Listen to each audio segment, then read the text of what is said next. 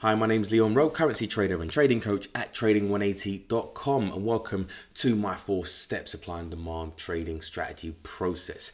And I'm going to say right from the start, this is not your simple technical analysis, rally based drop, drop based rally video that you're probably used to seeing, you know, 99.999% of other videos, you know, go into, um, uh, you know, these, these typical supply and demand videos. This is not your typical. If you want to learn something and learn something from a very, very advanced level, yeah, if you're looking for something simple, then click away. If you're looking to really watch and learn something, yeah, then keep watching because this video is going to show you something that and concepts that you're probably not even, you know, aware of. And in the Forex market, we need every single edge we can get in order for us to be successful. And this is what I do week in, week out, you know, with um, the Trading 180 community and, uh, and members. So uh, let's get into it.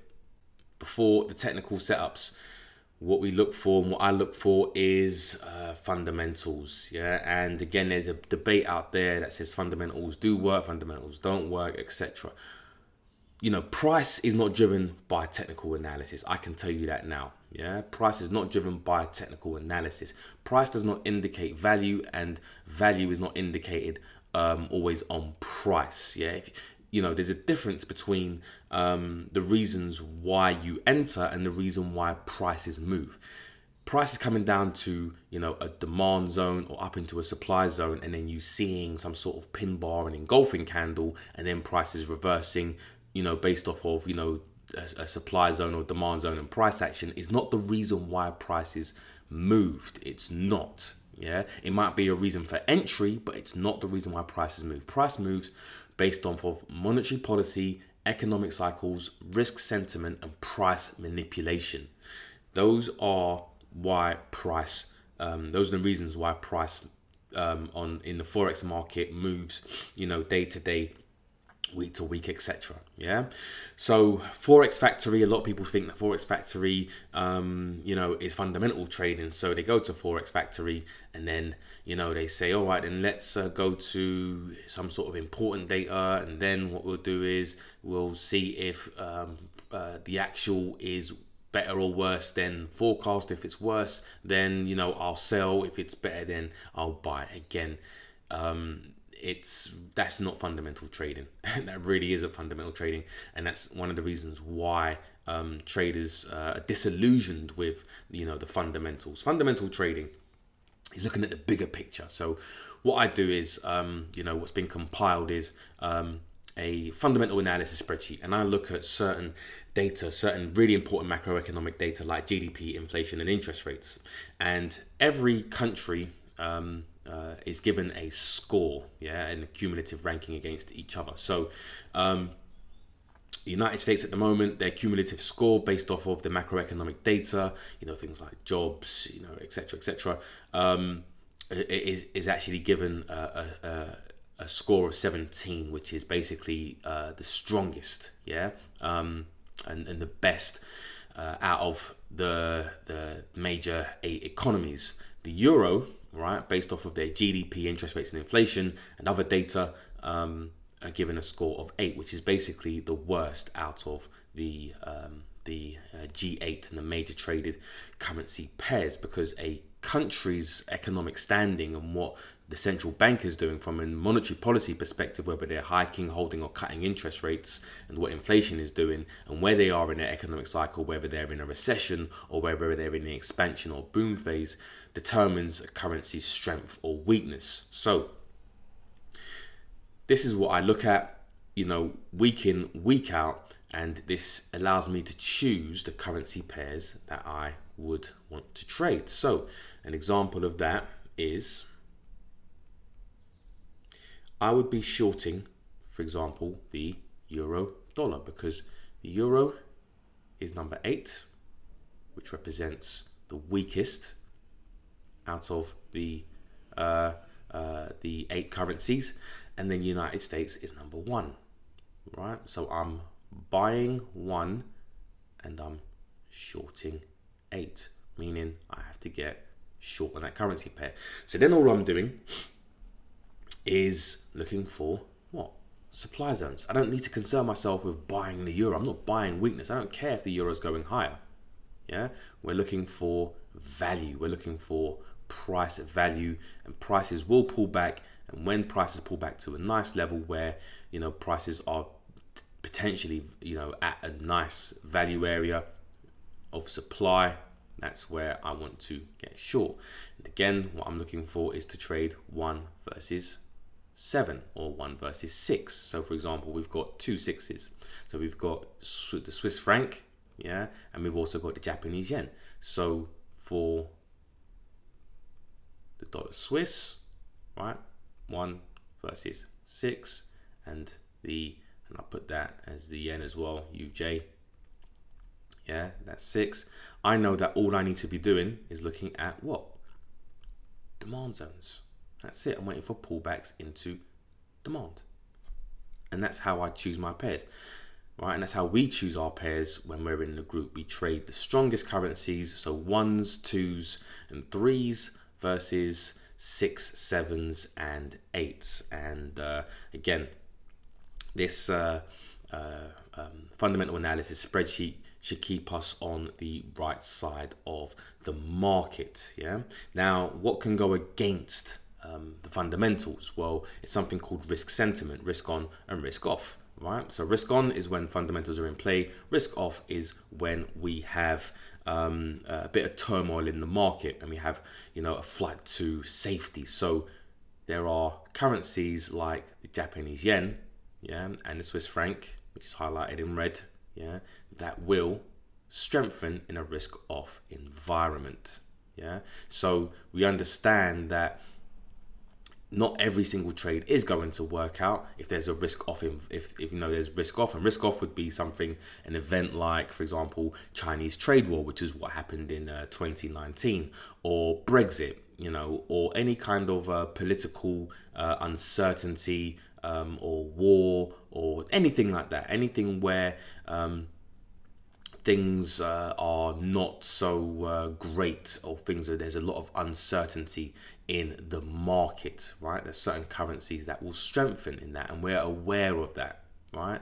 But what we plan to do yeah what we plan on doing is when prices pull back let's say for example we're trading the dollar swiss or the dollar yen and in this period here which might represent you know maybe a week or two of uncertainty yeah where, where the, the swiss franc and japanese yen may strengthen against the dollar when things start to potentially sort themselves out. So, for example, with the trade deal, China's uh, and, and, and America's trade deal, let's say, for example, they come to some sort of agreement. They come to an agreement.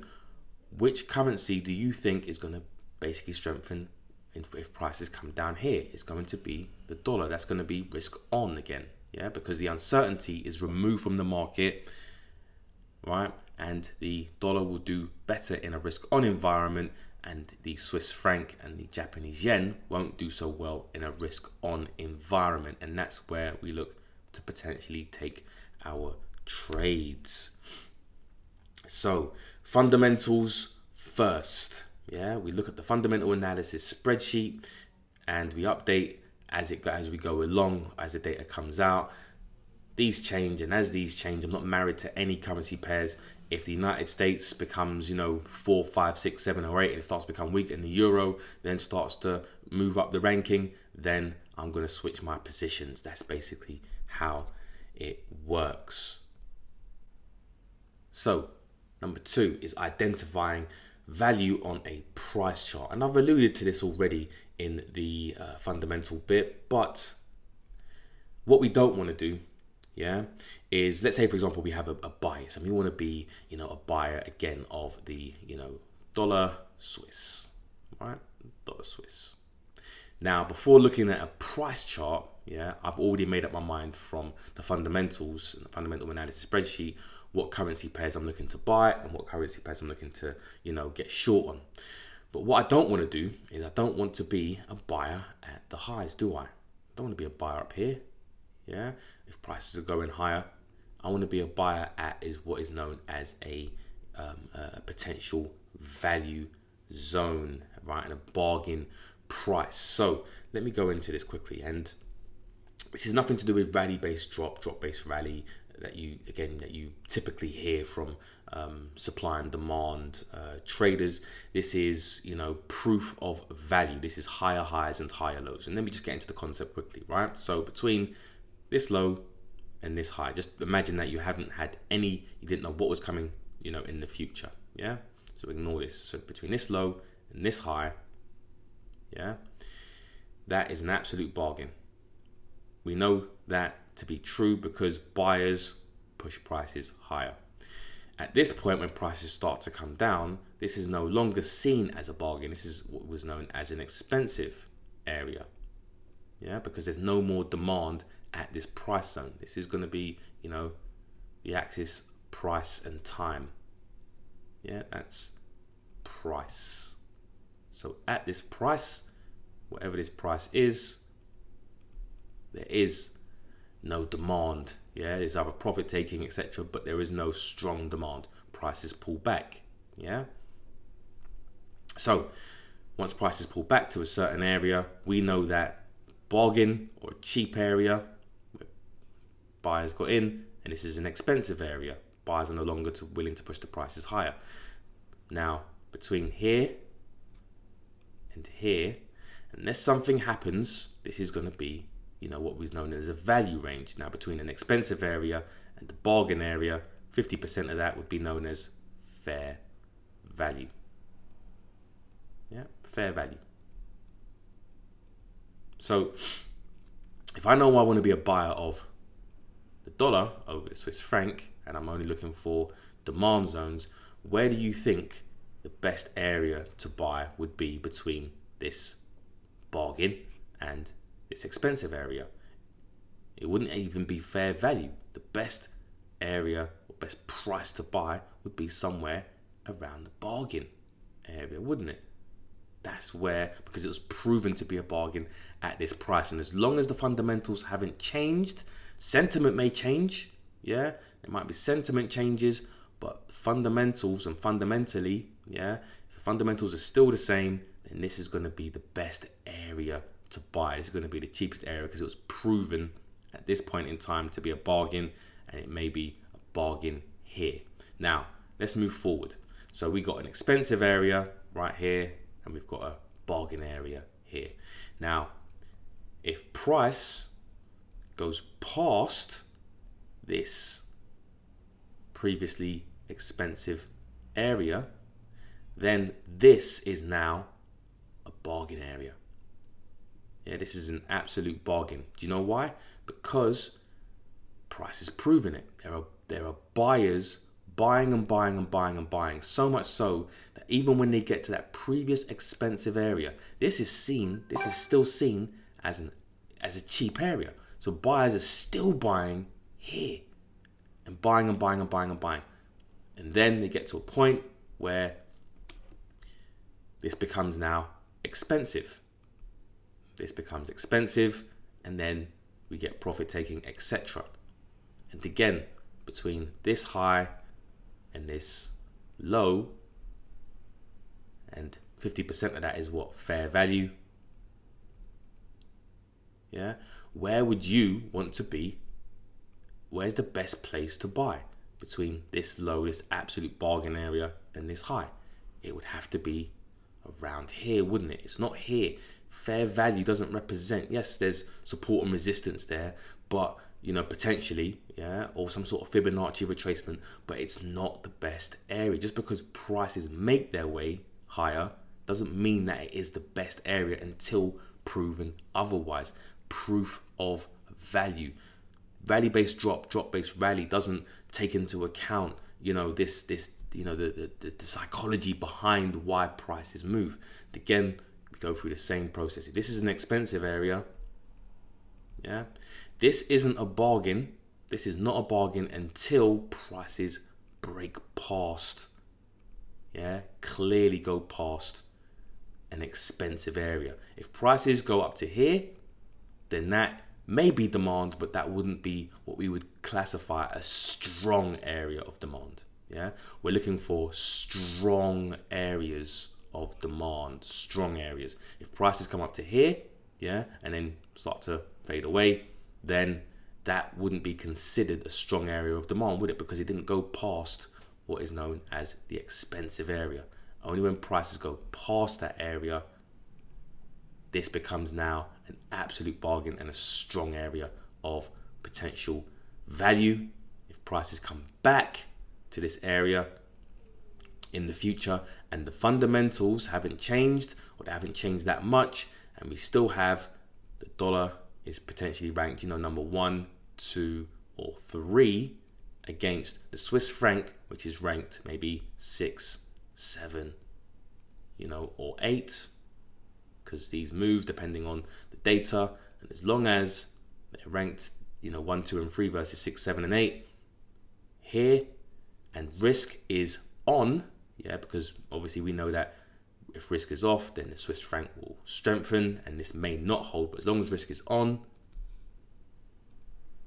that's where the bargain was in the past, and this is where the potential bargain may be in the future. So, this is how supply and demand trading works. Right, and this is how I view supply and demand trading is more to just you know technical patterns. You have to think behind why prices are, you know, are doing what they're doing. So we use supply and demand zones to determine potential value on a price chart and we filter our supply and demand bias via the fundamentals. And I use daily and weekly time frames and traders constantly ask can i use you know the the hourly and the 15 minute and the one hourly and i've made a video which is going to be on the top right hand side the link will be um, there for you to, you know, that question is answered. And again, the short answer is you can do whatever you want. Um, the, the slightly longer answer would be, well, you know, what's more um, impactful, uh, 15 minutes of, of supply and demand or daily or weekly um, supply and demand? What is more significant? So the reason why I use daily and weekly time frames, uh, supply and demand zones, is because they are more significant, right?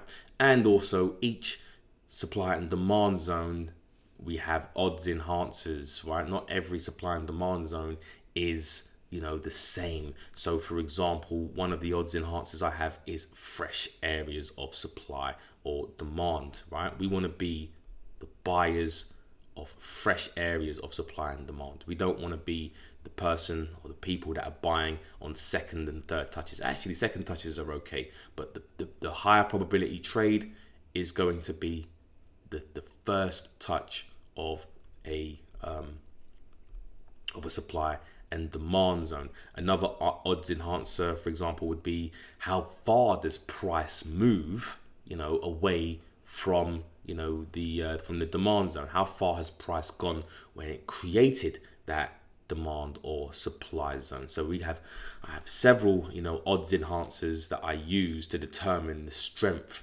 of or potential strength and potential bargain of uh, each supply and demand zone. Now let's talk